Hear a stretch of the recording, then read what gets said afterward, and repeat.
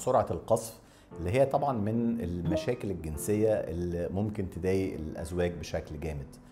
آه، تعريف سرعة القصف الأول إحنا عندنا في نوعين أساسيين من سرعة القصف اللي هي سرعة قصف أولية اللي هي حد عمره ما كان راضي عن القصف بتاعه ودايما القصف بيجي مبكر أو ثانوية اللي هي كان الأول ماشي كويس ما كانش فيه مشاكل وبعدين بدأ يشتكي من سرعة قصف.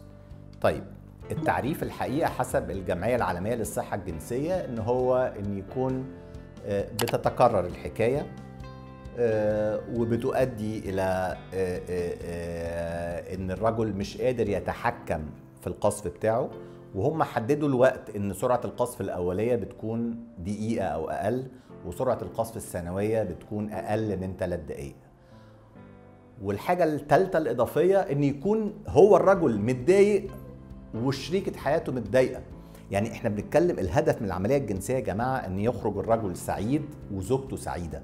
إذا ده محقق يبقى أنا ما عنديش مشكلة. إحنا مش مش ما إحنا مش في سبق اللي هو بحاول أزود دقيقة زيادة أو اقلل هو الهدف إن يخرجوا الاثنين سعداء. وفي معلومة مهمة قوي عايزين نقولها إن هو بطل خليقة. ربنا خلقنا إن الرجل بيصل للنشوة بتاعته في وقت أقل قوي من المرأة. ومش مطلوب إن يكون في تزامن بين الرجل والمرأة. فلكن إذا كانت بدأ إن هو بيشتكي إن هو حاسس إن هو مش قادر يستمتع والوقت أصبح قليل يبقى ساعتها فعلا إن إحنا نحتاج إن إحنا نعالجه ونساعده.